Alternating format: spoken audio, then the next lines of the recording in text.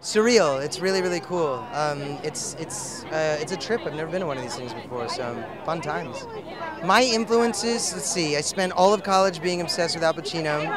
Uh, when I was a little kid, ever since Batman, I was obsessed with Jack Nicholson. I had a lot of weird obsessions, I guess, when I was younger.